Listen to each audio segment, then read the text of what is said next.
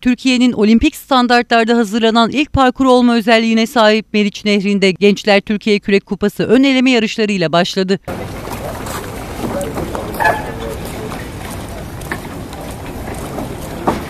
Kürek sporcularının teknelerini nehre indirerek antrenman yapmasının ardından yarışlar başladı.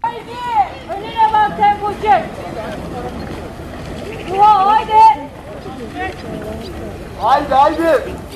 Türkiye Kürek Federasyonu tarafından düzenlenen yarışlarda 112 sporcu Mehmet Müezzinoğlu ve Meriç Köprüleri arasında 2 kilometre uzunluğundaki parkurda mücadele etti. Bu parkurun hem şehir hem spor turizmi hem de spor camiası için çok önemli bir nokta olacağını söyleyen Türkiye Kürek Federasyonu Başkanı Erhan Ertürk, Edirne'nin artık sporun başkenti olduğunu ifade etti. Ertürk, kürek sporu için tarihi bir gün yaşadıklarını söyledi. Bugün 12 Temmuz Cuma. Bizim camiamız için, spor camiası için tarihi bir gün. İlk yarışı yaptık. Ee, yani bizim 100 yıllık bir federasyonuz. 100 yıldır bu parkuru bekliyorduk. Bana nasip oldu. Bu tarihi anı gördüm. Çok mutluyum. Çok sevinçliyim. Ee, çok emeği geçen insan oldu. Buradan özellikle valiliğimiz ve e, Gençlik Spor Bakanlığımıza çok teşekkür ediyorum. Çok destek verdiler. Ee, parkurumuz daha yapılmadan Avrupa Şampiyonası almıştık. Ee, üstüne Balkan Şampiyonası aldık.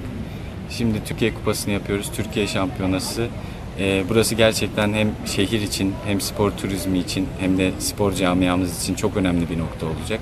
Artık bizim için sporun başkenti Edirne. Birlikte 6'şar parkurlu seslerden de duyuyorsunuz biraz heyecan yükselmeye başladı. 6 parkurlu yarışlar yapılıyor. Yani en iyi 6 finalde yarışacak. Buna göre katılımcı sayısına göre işte 12 ekip varsa 2 elemede ilk üçler direkt finale çıkıyor. Daha fazla katılımlı olanlar da yarı finalde yapıyoruz. Bugün elemeleri bitireceğiz.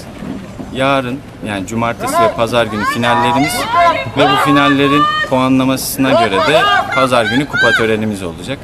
Ee, bütün büyük kulüplerimiz burada. Fenerbahçe, Beşiktaş, Galatasaray ve 40'ın üstünde kulübümüz, 400'ün üstünde sporcumuz da çok güzel bir e, spor festivali olacak. Gençler Türkiye Kürek Kupası 14 Temmuz Pazar günü gerçekleştirilecek final yarışlarının ardından son bulacak. Ayakta nereye